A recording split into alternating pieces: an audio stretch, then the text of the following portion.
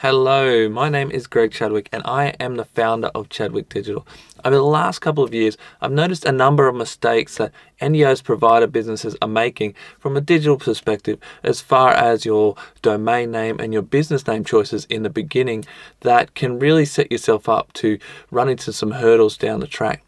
So, for the next few minutes, if you will stick me with me for a while, we're going to dive into the computer and have a look at how we can stop these in their tracks before they get too big and snowball too far. So without further ado, let's dive into the computer. Alright, so we're going to start by looking at three different areas that's going to help you choose your business name and make sure you don't make any mistakes and help you choose your uh, domain name that goes along with that to make sure also you don't make any mistakes. So where we're going to start is here and we're going to look up um, the uh, ASIC business lookup. So we're going to type that into Google then we're going to go down to the second link here and that'll take us to where you're actually going to pay and look up and register for your business once you've decided on that. So if we just head down to organizations and business names and the business that I've chosen to call my disability service is going to be Chadwick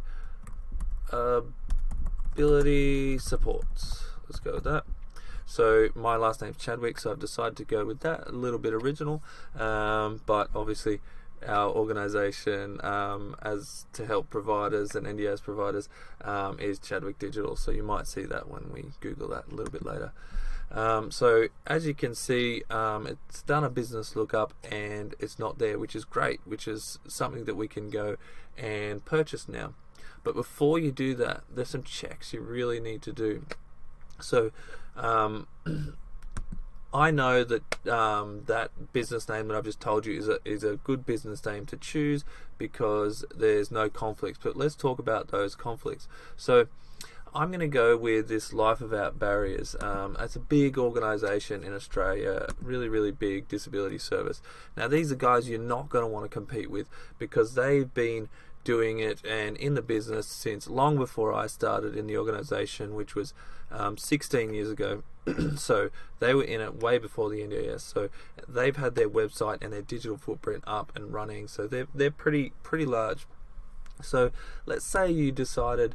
Um, and as you can see, all these little links here means that they are an authority site. When you can start getting these links, um, and you'll go down and you can see they're just everywhere everywhere on the page, Life Without Barriers.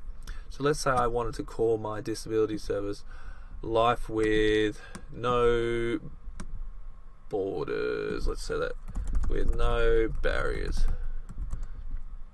Still, they come up. So I definitely don't want to choose life with no barriers because I'm going to be competing against them and I'm never going to rank over these guys.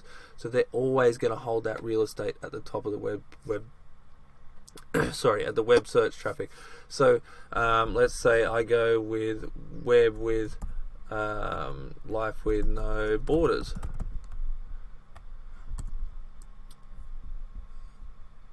Uh, sorry, life without borders.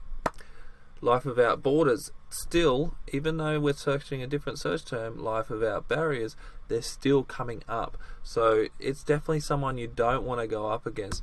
And if you were to head over here and type in Life Without Barriers into this is I use SiteGround.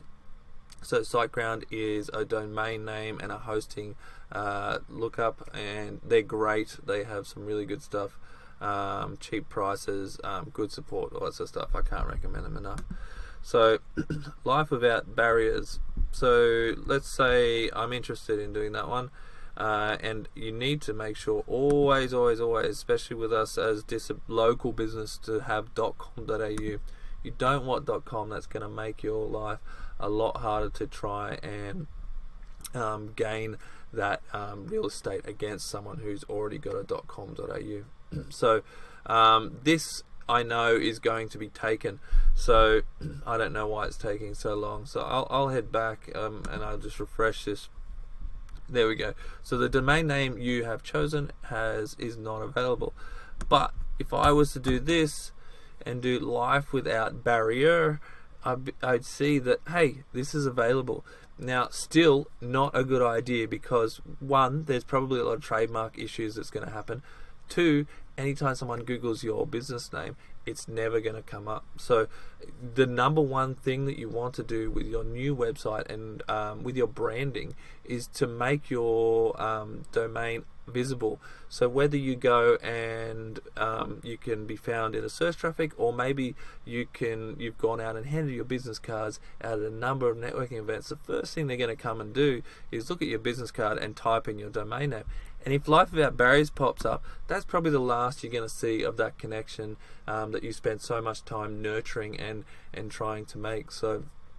Um, that's the three steps that we're looking at here. So um, let's say I go with Chadwick Ability Supports. So that's that domain's available, um, and I know if I look in here with um, Life Without Barriers, just for an example, and I'll show you, Life Without Barriers is definitely taken. So it's registered. Um, you can't register it um, even if you try Life Without Barrier you know, they might be calling you with some cease and desist because number one, you're in the same industry, and number two, it's a very, very close business name. So, getting it right now um, is really important. And I've worked with um, clients that have had this deceased and desist letter. Their colours have been the same just by fluke. It was compu- complete accident. Their name was nearly identical, and they were even in the same state. So they had been given cease and desist letters to and asked to uh, stop straight away. So, um, so the life without barriers that's not available. But if I go to and type Chadwick, uh, what did I say? Ability supports. Perfect. What we're looking for here, if you really want to see um, if it's going to be something that's super easy to rank for, is having some social media in the top few. So and and having things that um, are not related to your niche. So you can see here is a geotechnical um, organization. Now um, that has nothing to do with disability caring, and you can see here, this is my website. Um, that has nothing to do with disability caring. It's it's marketing while it does have the word disability in it, because I solely work with disability providers in my business. Um, and the biggest one here is LinkedIn. So if this was LinkedIn or Facebook in the top two, you should easily be able to rank your business straight away as long as your on-page SEO is correct and the person that's building your website um, has optimized it and the code uh, so that Google can uh, read that code correctly and put it to the top of the website. So I hope that makes sense. I think I've covered everything um, that I wanted to cover in this session.